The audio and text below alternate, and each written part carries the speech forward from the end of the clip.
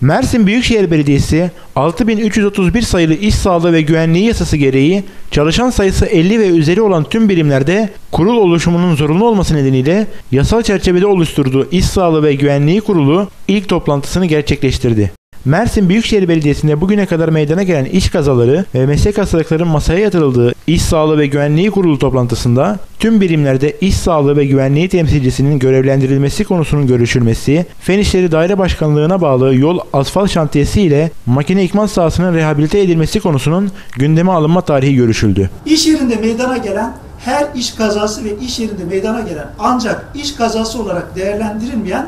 biz e, onlara kazaya ramak olayları diyoruz ki şu anda verdiğimiz eğitimlerde